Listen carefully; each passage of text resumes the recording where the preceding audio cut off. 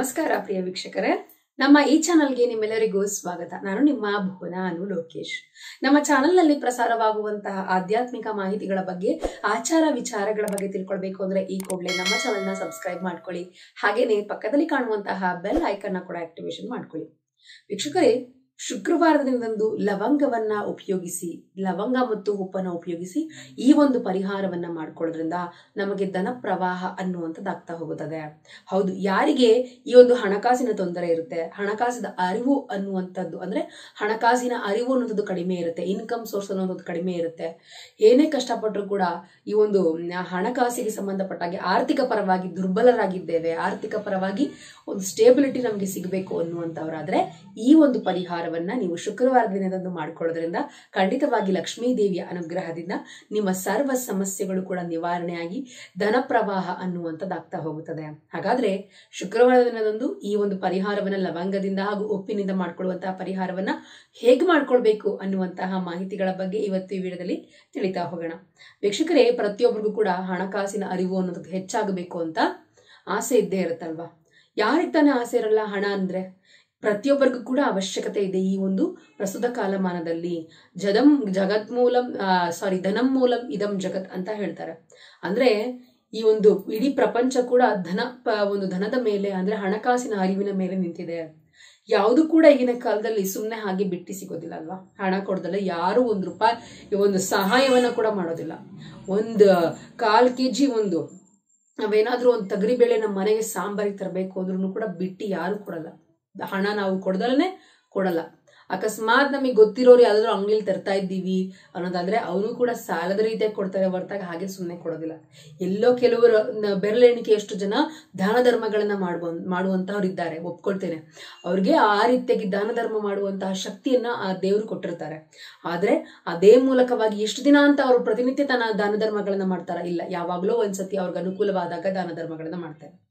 ಮಾಡ್ತಾರೆ. ಇದಂತೆ ಉಳಿದಂತಹ ಸಮಯದಲ್ಲಿ ನಮ್ಮ ಒಂದು ಅವಶ್ಯಕತೆಗಳನ್ನ ನಾವೇ ಪೂರೈಸ್ಕೊಳ್ಬೇಕಲ್ವಾ? ಆ ವಿಧವಾಗಿ ಹಣ ಅನ್ನೋದು ಬಹಳ ಪ್ರಾಮುಖ್ಯತೆಯನ್ನ ಹೊಂದಿರೋ ಕಾರಣದಿಂದಾಗಿ ಲಕ್ಷ್ಮೀ ದೇವಿಯ ಒಂದು ಅನುಗ್ರಹಕ್ಕಾಗಿ ಈ ಒಂದು ಪರಿಹಾರವನ್ನ ಮಾಡ್ಕೊಳ್ಳಿ. ನಮ್ಮ ಮನೆಯಲ್ಲಿ ಹಣಕಾಸಿಗೆ ಸಂಬಂಧಪಟ್ಟಂತಹ ಸಮಸ್ಯೆಗಳಾಗ್ತಾ ಇದೆ. ಹಣಕಾಸು ಅನ್ನುವಂಥದ್ದು ನಮ್ಮ ಮನೆಗೆ ಹೆಚ್ಚಿನದಾಗಿ ಬರ್ತಾ ಇಲ್ಲ. ಬಂದ್ರೂ ಕೂಡ ನಿಲ್ತಾ ಇಲ್ಲ.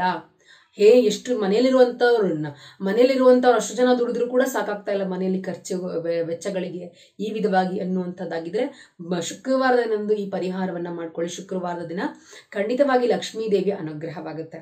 ಏನ್ ಮಾಡ್ಬೇಕಪ್ಪ ಅಂದ್ರೆ ಶುಕ್ರವಾರದಂದು ಲಕ್ಷ್ಮೀ ದೇವಿಗೆ ಹೇಗೆ ಪೂಜೆಯನ್ನ ಮಾಡ್ತಿರೋ ಅದೇ ವಿಧವಾಗಿ ಮನೆಯನ್ನೆಲ್ಲ ಗುಡಿಸಿ ಸಾರಿಸ್ಕೊಂಡು, ಆ ದಿನ ಶುದ್ಧವಾಗಿ ತಲೆಗೆ ಸ್ನಾನವನ್ನ ಮಾಡಿಕೊಂಡು ರಾಹುಕಾಲದ ಸಮಯದಲ್ಲಿ ಈ ಒಂದು ಪರಿಹಾರವನ್ನ ಮಾಡ್ಬೇಕಾಗುತ್ತೆ. ಶುಕ್ರವಾರದ ದಿನ ರಾಹುಕಾಲದ ಸಮಯದಲ್ಲಿ ಈ ಒಂದು ಪರಿಹಾರ. ಲಕ್ಷ್ಮೀ ದೇವಿಯ ಫೋಟೋ ಅಥವಾ ವಿಗ್ರಹ ಏನಿದೆ ನಿಮ್ಮ ಮನೆಯಲ್ಲಿ? ಆ ಒಂದು ಫೋಟೋ ಅಥವಾ ವಿಗ್ರಹದ ಮುಂದೆ ಲಕ್ಷ್ಮೀ ದೇವಿಗೆ ಈ ಒಂದು ಏನು ವಿಶೇಷವಾಗಿ ಸುಗಂಧ ಭರಿತವಾದಂತಹ ಪುಷ್ಪಗಳಿಂದ ಅಲಂಕಾರವನ್ನ ಮಾಡಿ ಅರಿಶಿನ ಕುಂಕುಮದಿಂದ ಪೂಜೆಯನ್ನ ಮಾಡಿ, ತುಪ್ಪದ ದೀಪವನ್ನ ಲಕ್ಷ್ಮೀ ದೇವಿಯ ಮುಂದೆ ಶುಕ್ರವಾರದ ದಿನದಂದು ಬೆಳಗಿಸಿ, ಆ ಒಂದು ತುಪ್ಪದ ದೀಪವನ್ನ ಬೆಳಗಿಸಿದ ನಂತರ ಅಲ್ಲೇ ಒಂದು ಮಣ್ಣಿನ ದೀಪವನ್ನ ತೆಗೆದುಕೊಳ್ಳಿ. ಮಣ್ಣಿನ ದೀಪವನ್ನ, ತಟ್ಟೆಯನ್ನ ಇಡಿ, ಆ ಮಣ್ಣಿನ ದೀಪವನ್ನ ಇಟ್ಟು, ಆ ಮಣ್ಣಿನ ದೀಪದ ಒಳಗೆ ಆ ದೀಪ ತುಂಬುವವರೆಗೂ ಕೂಡ ತುಂಬುವ ಹಾಗೆ ಕಲ್ಲು ಹುಪ್ಪುಗಳನ್ನು ಅಂದ್ರೆ ಕಲ್ಲು ಹುಪ್ಪು ಏನು, ರಾಡ್ ಸಾಲ್ಟ್ ಅಂತಾರಲ್ಲ, ರಾಕ್ ಸಾಲ್ಟ್. ಆ ರಾಕ್ ಸಾಲ್ಟ್ನ ಆ ಒಂದು ದೀಪದ ಒಳಗೆ ಮಣ್ಣಿನ ದೀಪದ ಒಳಗೆ ತುಂಬಿ ಆ ಒಂದು ಮಣ್ಣಿನ ದೀಪದ ಮೇಲೆ ಎಂಟು ಲವಂಗಗಳನ್ನ ನೀವು ಇಡಬೇಕಾಗತ್ತೆ. ಈ ವಿಧವಾಗಿ ಅದನ್ನ ಏನು ಬೆಳಗಿಸುವಂಥದ್ದಲ್ಲ ಸುಮ್ಮನೆ ಮಣ್ಣಿನ ಒಂದು ದೀಪದ ಒಳಗೆ ಉಪ್ಪನ್ನ ಹಾಕಿ ಅದರ ಮೇಲೆ ಎಂಟು ಲವಂಗಗಳನ್ನ ಇಡಬೇಕಾಗುತ್ತೆ. ಯಾಕೆ ಎಂಟನ್ನೇ ಇಡಬೇಕು ಅಂದ್ರೆ ಅಷ್ಟಲಕ್ಷ್ಮಿಯವರ ಸ್ವರೂಪ. ಅಷ್ಟಲಕ್ಷ್ಮಿಯರು ಅಂದ್ರೆ ನಮ್ಮ ಜೀವನದ ಪ್ರತಿಯೊಂದನ್ನು ಕೂಡ, ಆ, ಹರಿವನ್ನ ಹೆಚ್ಚಿಸುವಂತಹದ್ದು. ಪ್ರತಿಯೊಂದು ಸಂತಾನ ಲಕ್ಷ್ಮಿ ಭಾಗ್ಯಲಕ್ಷ್ಮಿ, ಧೈರ್ಯಲಕ್ಷ್ಮಿ, ವಿಜಯಲಕ್ಷ್ಮಿ, ಆಯುಷ್, ಈ ರೀತಿಯಾಗಿ ಆರೋಗ್ಯ ಲಕ್ಷ್ಮಿ ವಿದ್ಯಾಲಕ್ಷ್ಮಿ, ಪ್ರತಿಯೊಂದನ್ನು ಕೂಡ, ಆ, ಪ್ರಾಧಾನ್ಯತೆ ಹೊಂದಿರುವಂತಹ ಲಕ್ಷ್ಮೀ ದೇವಿ ಅಷ್ಟಲಕ್ಷ್ಮಿಯ ಸ್ವರೂಪವಾಗಿರೋದ್ರಿಂದ ಅಷ್ಟಲಕ್ಷ್ಮಿಯ ಸಂಕೇತವಾಗಿ ಆ ಒಂದು ಎಂಟು ಲವಂಗಗಳನ್ನ ಇಡಬೇಕಾಗುತ್ತೆ. ಅಷ್ಟ ಲಕ್ಷ್ಮಿಯರ ಸ್ವರೂಪ ಅಷ್ಟ ದಿಕ್ಪಾಲಕರು ಈ ವಿಧವಾಗಿ ನಾವು ಎಂಟು ಲವಂಗಗಳನ್ನ ಆ ಒಂದು ಉಪ್ಪಿನ ಮೇಲೆ ಇಟ್ಟಿ ಪೂಜೆಯನ್ನ ಮಾಡ್ಬೇಕಾಗತ್ತೆ. ಈಗ ಲಕ್ಷ್ಮೀ ದೇವಿಯ ಅಷ್ಟೋತ್ತರವನ್ನ ಹೇಳ್ಕೊಂಡು, ಆ ಲಕ್ಷ, ಅಷ್ಟೋತ್ತರವನ್ನ ಮಾಡಿ, ಪೂಜೆಯನ್ನ ಮಾಡಿ, ಹಾಗೇನೆ ಅಷ್ಟಲಕ್ಷ್ಮಿಯರ ಒಂದು ಸ್ತೋತ್ರವನ್ನ ಮೂರು ಬಾರಿ ಪಾರಾಯಣ ಮಾಡಬೇಕಾಗುತ್ತೆ. ಮೂರು ಬಾರಿ ಅಷ್ಟಲಕ್ಷ್ಮಿಯರ ಪಾರಾಯಣವನ್ನ ಮಾಡಿ ಅಮ್ಮನವರಿಗೆ ಕೇಳ್ಕೊಳ್ಬೇಕು, ನನಗಿರುವಂತಹ ಸಮಸ್ಯೆಗಳೆಲ್ಲ ನಿವಾರಣೆ ಆಗ್ಲಮ್ಮ. ಮೊದಲಿಂದಾಗಿ ಏನ್ ನೀವು ಕೋರ್ಕೋಬೇಕಂದ್ರೆ, ನಿಮ್ಮ ಸಂಕಲ್ಪಗಳು, ನಿಮ್ಮ ಕಷ್ಟಗಳಿಂದ ಅದೆಲ್ಲ ಹೇಳ್ಕೊಂಡು, ನಾನು ಯಾವ ಜನ್ಮದಲ್ಲಿ ಏನು ಪಾಪ ಮಾಡಿದ್ನೋ ಏನೋ, ಈ ಕಾಲದಲ್ಲಿ ಹಣಕಾಸಿಗೆ ತುಂಬಾ ತೊಂದರೆಗಳಾಗಿದೆ. ಯಾರಿಗೆ ದಾನ ಧರ್ಮಗಳನ್ನ ಮಾಡಿದ್ನೋ ಇಲ್ವೋ ಗೊತ್ತಿಲ್ಲ ಇಂದಿನ ಒಂದು ಜನ್ಮದಲ್ಲಿ. ಹಾಗಾಗಿ ನನಗೆ ಈ ಕಾಲದಲ್ಲಿ, ಈ ಒಂದು ಪ್ರಸ್ತುತ ಜನ್ಮದಲ್ಲಿ ನಾನು ಈ ರೀತಿಯಾದಂತಹ ಸಮಸ್ಯೆಗಳನ್ನ ಅನುಭವಿಸ್ತಾ ಇದ್ದೀನಿ ಹಣಕಾಸಿಗೆ ಸಂಬಂಧಪಟ್ಟ ಹಾಗೆ. ಶ್ರೀ ಕ್ಷೇತ್ರ ಸಿಗಂತೂರು ಚೌಡೇಶ್ವರಿ ದೇವಿ ಜ್ಯೋತಿಷ್ಯ ಪೀಠ ನುಡಿದಂತೆ ನಡೆಯುವುದು ಅಸಾಧ್ಯವಾದದ್ದು ಇಲ್ಲಿ ಸಾಧ್ಯ. ಇಪ್ಪತ್ತು ವರ್ಷ ಉಳ್ಳ ಪ್ರಧಾನ ತಾಂತ್ರಿಕರು, ಶ್ರೀ ಕ್ಷೇತ್ರ ಪಾಲಕ, ಸರ್ವಶ್ರೇಷ್ಠ ಪರಿಪಾಲಕ, ಭೂತರಾಯ ಆರಾಧಕರು, ನಿಮ್ಮ ಎಲ್ಲಾ ಸಮಸ್ಯೆಗಳಿಗೆ ಮೂರು ದಿನಗಳಲ್ಲಿ ಪರಿಹಾರ. ಕುಟುಂಬ ಸಮಸ್ಯೆ ಸತಿಪತಿ ಕಲಹ, ಡೈವರ್ಸ್ ಪ್ರಾಬ್ಲಮ್, ಮದುವೆಯಲ್ಲಿ ವಿಳಂಬ, ಅನಾರೋಗ್ಯ ಸಮಸ್ಯೆ, ಸಂತಾನ ಸಮಸ್ಯೆ, ಮಾಂತ್ರಿಕ ದೋಷಗಳು, ಉದ್ಯೋಗ, ಶತ್ರುಪೀಡೆ, ಅತ್ತೆ ಸಸ್ಯ ಜಗಳ, ವಶೀಕರಣ, ವ್ಯಾಪಾರದಲ್ಲಿ ನಷ್ಟ, ನಿಮ್ಮ ಸಮಸ್ಯೆ ಯಾವುದೇ ಇರಲಿ, ಎಷ್ಟೇ ಕಠಿಣವಾಗಿರಲಿ, ಶಾಶ್ವತ ಪರಿಹಾರ ಶತಸಿದ್ಧ. ಅಮಾವಾಸ್ಯೆ ಹುಣ್ಣಿಮೆಯಲ್ಲಿ ವಿಶೇಷ ಪೂಜಾ ಶಕ್ತಿಯಿಂದ ಪರಿಹಾರ. ನಿಮ್ಮ ಇಷ್ಟಾರ್ಥ ಕಾರ್ಯಗಳಾಗಿದ್ದರೂ ಕೇವಲ ಮೂರು ದಿನಗಳಲ್ಲಿ ನೆರವೇರಿಸಿಕೊಡುತ್ತಾರೆ ಹಿಂದೆ ಕರೆ ಮಾಡಿ ವಿದ್ವಾನ್ ಶ್ರೀ ಡಾಕ್ಟರ್ ರಾಮಕೃಷ್ಣ ಭಟ್. ದೂರವಾಣಿಯ ಸಂಖ್ಯೆ ಒಂಬತ್ತು ಎಂಟು ನಾಲ್ಕು ಐದು ಎರಡು ಏಳು ನಾಲ್ಕು ಎಂಟು ಏಳು ಆರು.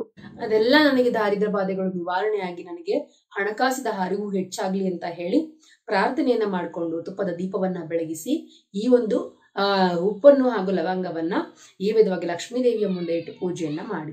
ಇದೇ ವಿಧವಾಗಿ ನೀವು ನಿಮ್ಮ ಶಾಪ್ಗಳಿದ್ರೆ, ಅಂದ್ರೆ ನಿಮ್ಮ ಅಂಗಡಿ ಮುಗ್ಗಟ್ಟುಗಳಿದ್ರೆ ಅಲ್ಲೂ ಕೂಡ ಈ ಪರಿಹಾರವನ್ನ ಮಾಡ್ಕೊಳ್ಬಹುದು.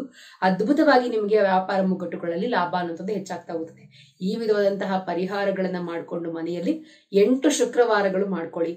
ಮಾ ಎಂಟು ಶುಕ್ರವಾರ ಮಾಡ್ಕೊಳ್ಳುವಂತ ಅದಕ್ಕೂ ಮೀರಿ ನಿಮಗೆ ಸಾಮರ್ಥ್ಯ ಇದೆ ಅಂದ್ರೆ ಪ್ರತಿ ಶುಕ್ರವಾರವೂ ಕೂಡ ಈ ವಿಧವಾಗಿ ಮಾಡ್ಕೊಳ್ತಾ ಬನ್ನಿ. ಮನೆಯಲ್ಲಿ ಅಭಿವೃದ್ಧಿ ಅನ್ನುವಂಥದ್ದನ್ನ ಕಾಣ್ತಾ ಹೋಗ್ತಿರಲ್ಲ ಅಮ್ಮನವರ ಅನುಗ್ರಹದಿಂದ. ಈ ವಿಧವಾದಂತಹ ಪರಿಹಾರದಿಂದ ಅನುಕೂಲತೆಯನ್ನ ಮಾಡ್ಕೊಳ್ಳಿ ಅಂತ ಹೇಳ್ತಾ ಈ ಮೂಲಕವಾಗಿ ಎಲ್ರಿಗೂ ಒಳ್ಳೆಯದಾಗಲಿ ಧನ್ಯವಾದಗಳು. ಇನ್ನೂ ಹೆಚ್ಚಿನ ಮಾಹಿತಿಗಾಗಿ ನಮ್ಮ ಚಾನಲ್ ಸಬ್ಸ್ಕ್ರೈಬ್ ಮಾಡಿ